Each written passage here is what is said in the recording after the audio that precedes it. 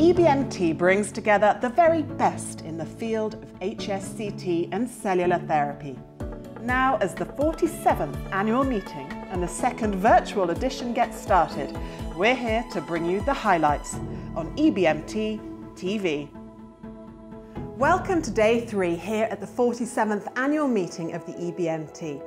We hope you've learned a lot already and taken a look at everything the virtual platform has to offer, and there's plenty more to come. On the show today, we catch up with this year's Jon J. Van Rood Award winner. Hear a special message about the 20th anniversary of the data management meeting and take a look at the Siteman Cancer Centre in the USA and Canadian Blood Services. First, bringing us up to speed with Tuesday at the meeting, it's Anna Sureda. Good morning, everybody. My name is Anna Sureda. I work in Barcelona, Spain, and I am the scientific chair for this year's meeting. I'm sure you will agree with me that we have an outstanding program today. So, we have four educational sessions and three different workshops. A plenary session, which is devoted to machine learning and artificial intelligence, and a special session which is dedicated to benchmarking strategies. Please don't forget that today we have our pharmacist day and we have the possibility to attend really very interesting and interactive session. And we also have the quality management day. Before i finish i don't want to forget that we have two general sessions for two different working parties, and please don't miss the award session as well as the General Assembly, where we will be able to listen to our President's report, the Treasurer and the Secretary report, as well as the official results of the elections for 2021. So, thank you very much for your attention. Enjoy the program today and hope to see all of you around.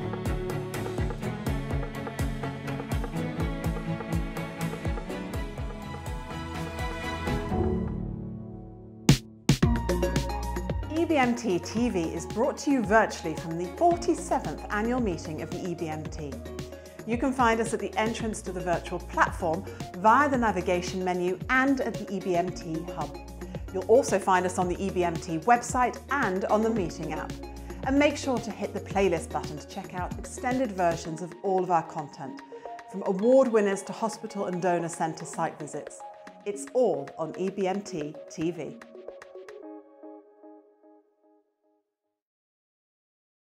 Franziska Uhl is this year's Jon J. Van Rood Award winner, and her work looks at the impact of metabolic reprogramming of donor T cells.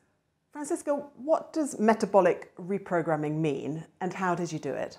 So, metabolic reprogramming is actually a process which is known uh, for many cell types. So, in T cells, a naive T cell watches and waits for its antigen, and at that time, it wants to use energy as, as efficiently as possible. It basically relies on oxidative phosphorylation during activation, the T cells undergoes metabolic reprogramming. So it upregulates its aerobic glycolysis. And in this aerobic glycolysis, the pyruvate is then fermented to lactate. This process is much faster than generating energy through OXPHOS. And we've observed that in AML patients with a relapse after allogenic transplantation, they have a severely disturbed metabolic T cell phenotype. How does it enhance graft versus leukemia effects?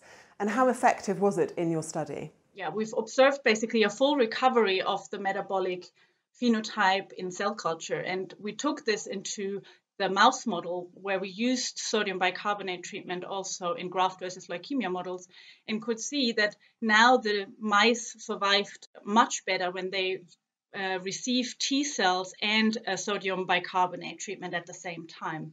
So we went back from the bench to the bedside and uh, used sodium bicarbonate in patients and administered to patients with an AML relapse after allogenic transplantation. And these patients also received donor lymphocyte infusions at the same time.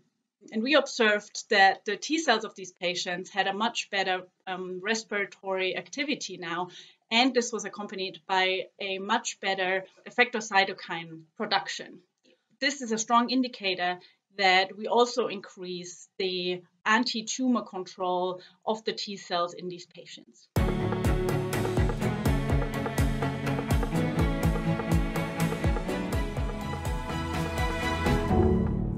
Now, as we celebrate the 20th anniversary of the data management meeting, let's hear a special message from one of EBMT's data managers. My name is Anne Vos and I work as a nurse at the University Hospital Antwerp, Belgium since 1987. In 2004, I've got the opportunity to attend the EBMT Congress in Barcelona. The data management sessions caught my attention, so I attend some of them.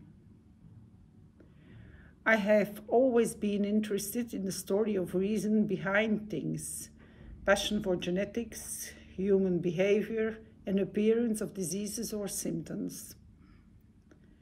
In April 2005, there was a vacancy for Med-A registrations at our team.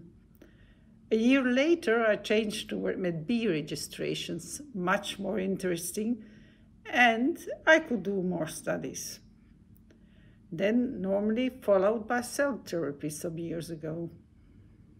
Most exciting part for me is the important growth in genetic and molecular testing, cell therapy and gene modulation.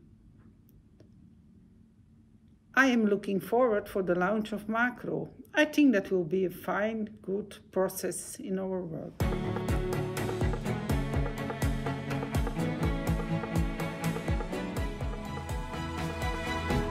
Now let's go to the United States to visit the Siteman Cancer Center, where they're pioneering personalised medicine and novel therapies for a wide range of hematologic malignancies.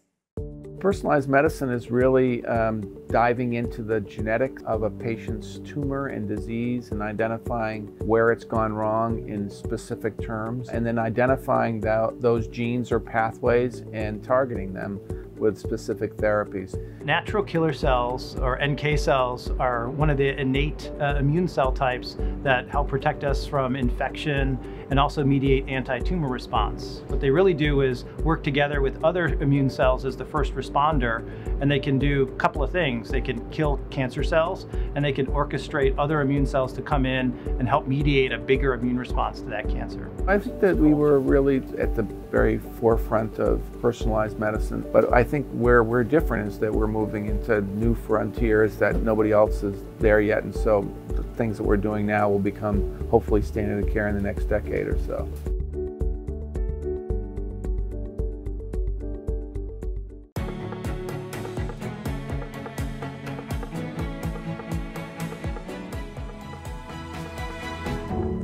Heading to Canada now, where Canadian Blood Services have been providing effective, reliable products and services all across the country for over two decades.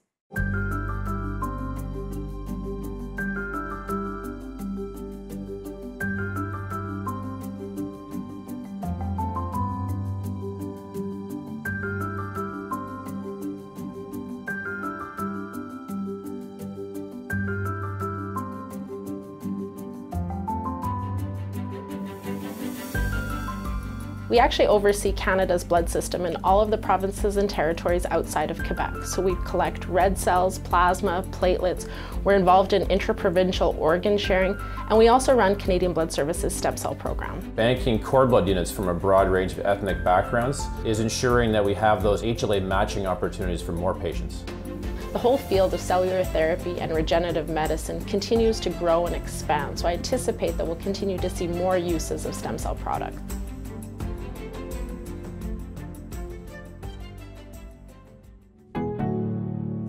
Great work there from Canada. Well, that's it from us here for Tuesday at the meeting.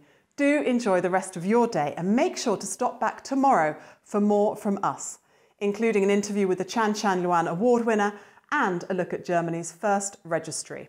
We'll see you then.